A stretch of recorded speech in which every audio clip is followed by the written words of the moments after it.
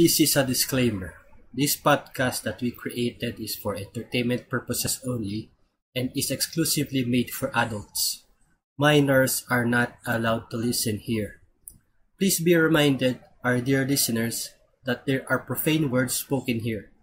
We also do not intend or promote hate, discrimination, political propaganda, religious mockery, or any messages in our podcast that can create feud and division to other people.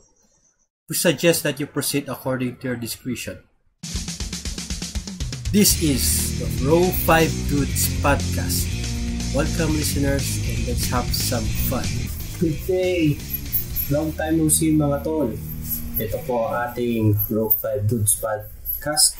Ako po si Mix Akachito. Yung mga kasama ko wala pa muna.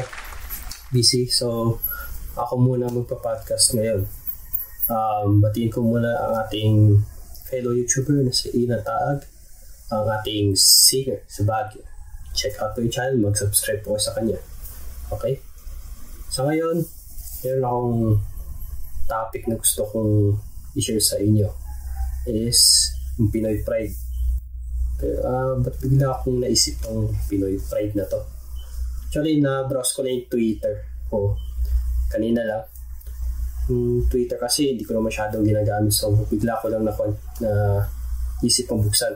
So tinignan ko, tingnan ko yung mga tweets ng mga friends ko doon. And nakita ko sa trending. In the Philippines lang yun. Sa sa nakita ko sa trending list, number one is Pinoy Pride. Nakita ko yung Pinoy Pride. Ano kayang hashtag to? Ano kayang nilalaman ng hashtag na to? Ano kayang nilalaman ng post na to? So, yun, clinic ko yun. So nakita ko, ayun, may mga may kumakanta, Pinoy Pride. Nakita ko si yung video ni Catriona Gray, Pinoy Pride. Kaya yung nakita ko sa karamihan ng mga posts niya is mga ng Pinoy Pride hash, hashtag Pinoy Pride is yung may isang YouTuber na babae na biglang sabi na nakakuan daw siya nahuli ng pulis sa Hawaii sa USA dahil nilabag ang kanyang ang kanilang batas quarantine. Alam naman natin na sa ngayon, sa panahon ngayon, ang daming ang daming protocols na dapat sundin para lang maibsan o mga mas slow spread ng coronavirus. Um, actually, medyo na ako na ako, medyo nalungkot ako sa sinabi nila na ganong Pinoy Pride na Pilipina pumunta doon sa ibang bansa na huli, sasabi nila Pinoy Pride. May nakakalungkot yun. Eh, mas maganda na, na maging positive naman tayo sa ganitong panahon, di ba? O ma oh, may freedom of speech tayo na sinasabi na gusto mong magsalita na kung ano-ano sa social media.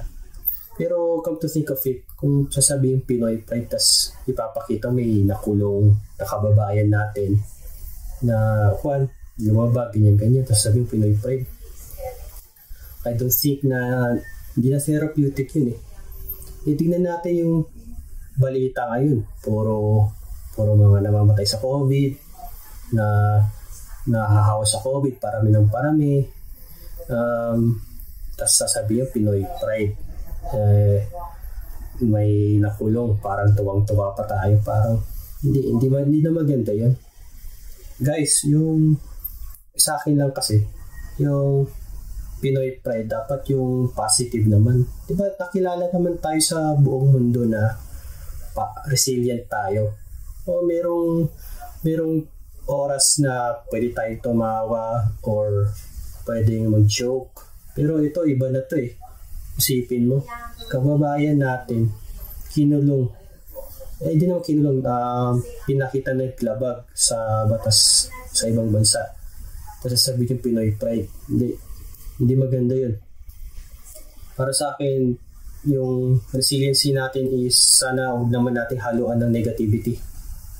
Negativity in which nakadagdag sa anxiety or sadness or depression ng tao ngayon.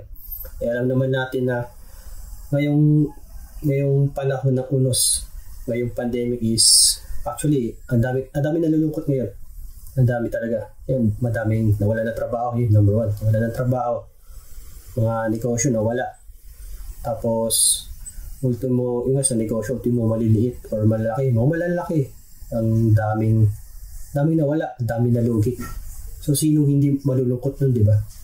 So, isipin natin yung mga ibang gustong pumunta sa ibang lugar sa Pilipinas. Eh, kita natin sa mga balita is mga stranded, yan.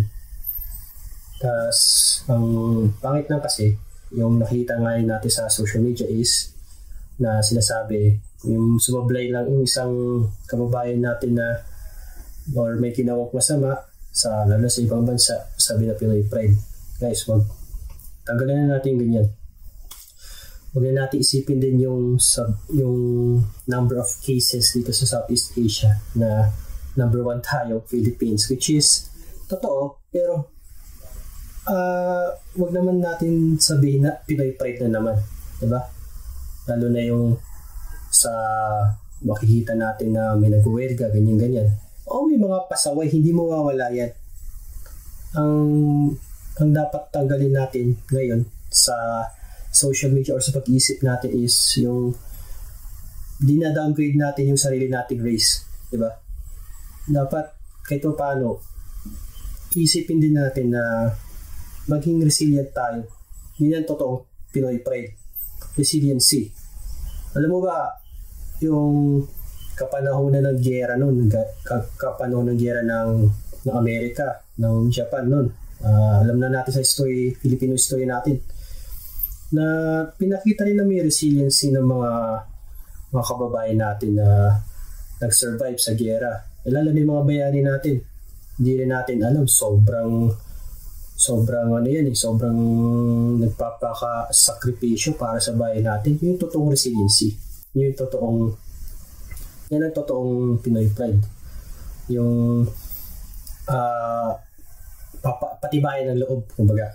So, yung sasabihin natin na uh, sisiraan yung sarili nating race dahil sa pagkakamili ng iilan, eh, kung naman sana nating gawing gawing issue or gawing gawing katawa-tawa gagawing uh, chismis topic which is actually hindi siya therapeutic, hindi na siya helpful sa atin.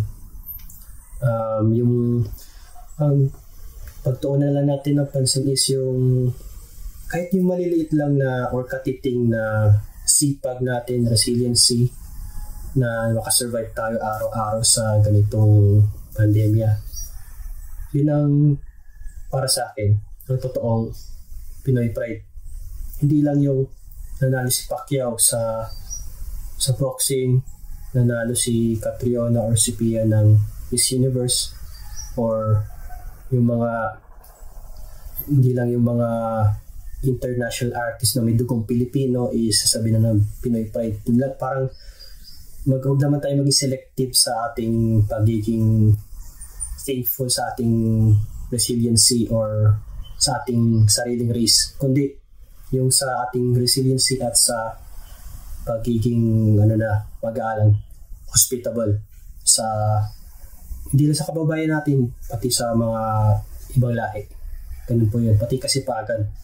Ako sa panahon ngayon this lang uh, wag niyo po nating gawing masama or gagawing mas masama yung ginawa ng ating mga kababayan sa ibang bansa. Pagkus, um, since Christian country po tayo, marami sa ating mga Christian, eh, ipagdasal na lang natin sila na na umuki sila na malugtas yung problema nila kasi di rin natin alam kung gaano kung ano yung nararamdaman nila nung nung kumalat yung ganong balita eh syempre kung sino kung sino may para nasisira syempre anong nararamdaman natin di ba? Masakit din yun. Eh, akala mo lang nakita mo sa social media na expressionless face yung mga yan. Eh manhid na sila hindi. Hindi po ganun.